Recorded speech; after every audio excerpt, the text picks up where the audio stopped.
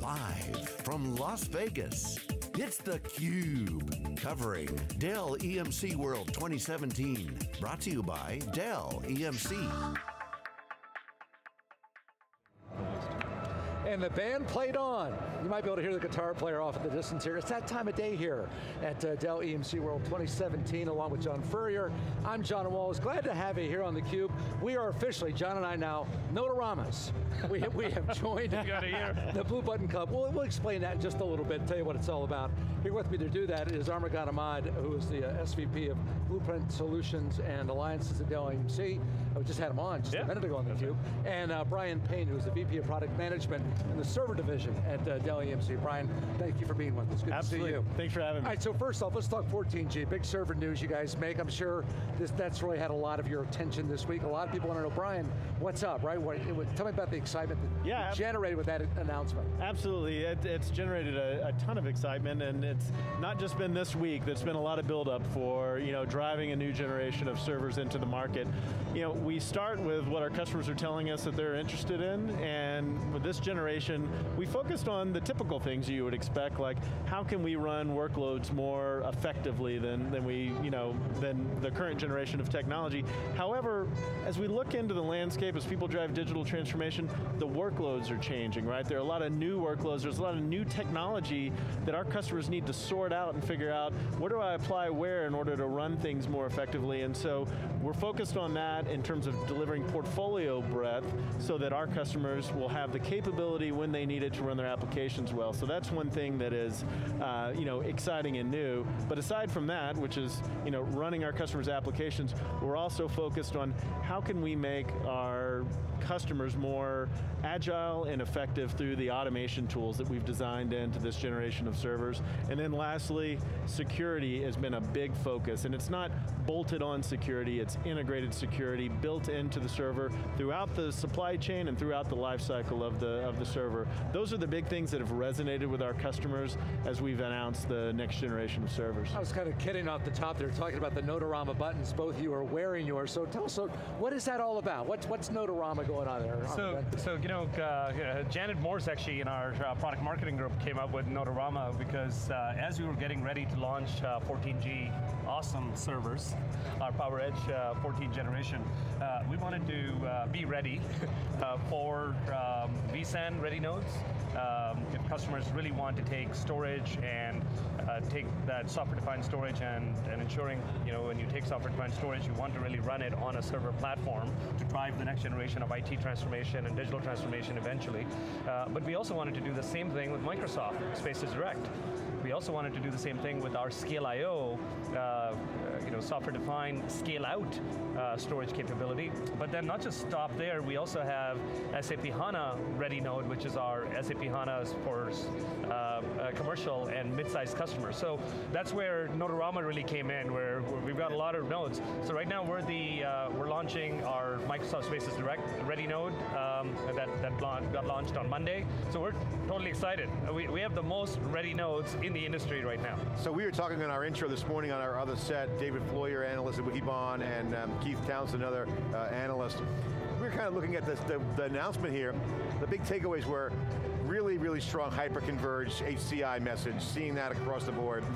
VMware as the glue layer yep. between all this, and then finally, reality of hybrid cloud. So we were just talking about kind of the ready systems. How does uh, this, this all work? Because now, those are three nice areas developing.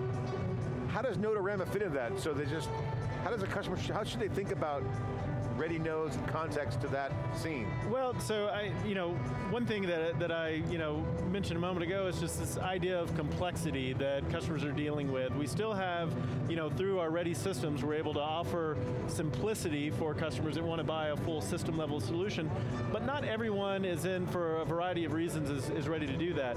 However, they're left with saying, okay, I can buy servers from Dell PowerEdge servers and go run my workload, but what do I pick? I mean, I want to move to a software-defined storage or I want to run something like SAP HANA, can somebody simplify that process for me? And that's where Ready Nodes come in. It really streamlines the selection of technology where we've done the testing, we've done the validation to figure out what's going to run well, and then we can point customers in that direction. Then we can also streamline the services, the service offering around that. So it's really about making it simpler for our customers throughout the life cycle of picking the technology and then deploying. What about managing. operational support?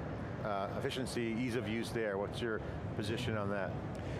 So I, I, mean, absolutely, operational support is streamlined, in that if you have an issue with a, a ready node and you call up Dell services, they're going to immediately recognize what you have and be able to, you know, get you back up and running and and, and working more effectively, you know, more quickly. So. so, so where's the nexus here? Uh, alliances and and then what you're doing here. Where, where's that? How's that coming yeah, together? so so I lead our solutions business unit uh, that is powered by our technology alliance partners. So VMware vSAN ready node. Microsoft Spaces Direct ready node.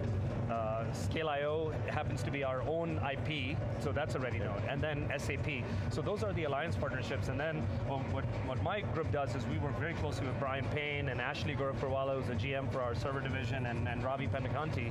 That server division, it's, it's all about the server, right, right in the center of it. So if you are going to drive a software-defined data center, you have to get a server right in the middle and ensure that server is not only scalable, it's intelligent, but it's also secured.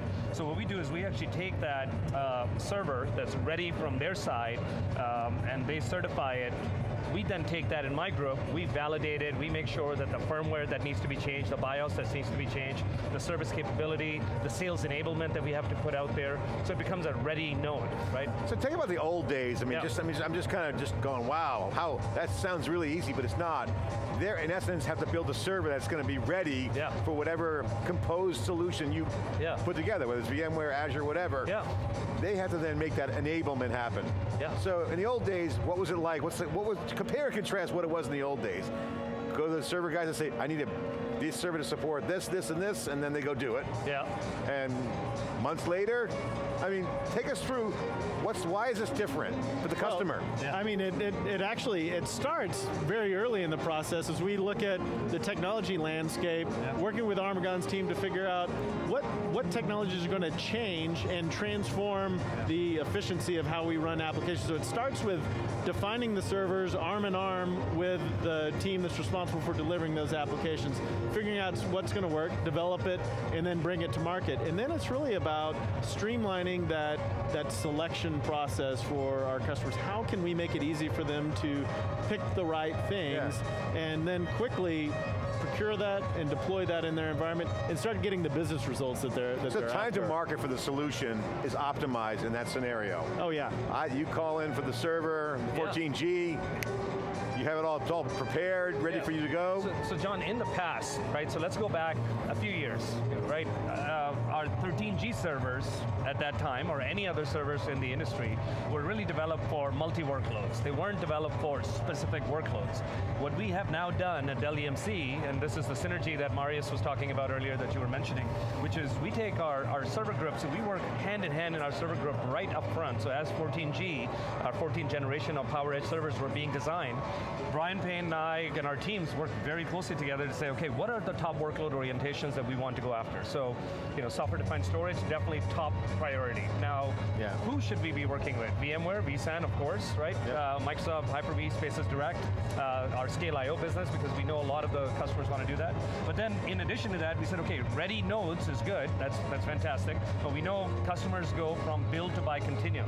So there'll be customers who would want SAP workload orientation, they would want Oracle workload orientation, they want SQL workload orientation. But then that, those are your still traditional apps. But now you're moving into the next generation apps of machine learning, AI, which is starting with Hadoop clusters and analytics clusters. So our, our partnership between server product group and our solutions product group, I- I mean, I, my product group does not exist without server product group, right? So we have to ensure, and by the way, same thing goes for storage product group, our data protection product group, and our networking product group, as well as our CI and ACI product group. What we do is we essentially uh, work right up front and make sure that that workload orientation is thought through right, right in the beginning. What's the customer reaction? You, you want to take that? Yeah, sure. Well, I, I was just going to add one piece, and I'll address that. Uh, conversely, the server isn't going to do anything without the application running on top of it. Yeah. So that's where you know we go hand in glove here.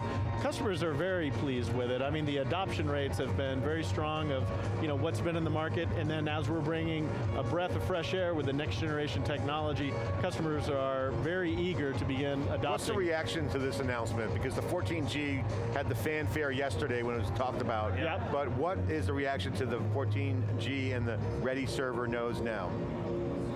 You know, uh, I- I'll give you an example. First of all, on our on our revenue growth. So we actually picked some major workloads. So we vSAN Ready Node. Uh, we announced that about six months ago, uh, and our vSAN Ready Node business is through the roof right now on 13G. 14G launches as soon as the summer. Ashley Gorakhpurwalla mentioned on stage sometime this summer. As soon as that launches, we will be ready with 14G. But right now we have Ready nodes already in the market Got it. on our 13 generation platforms.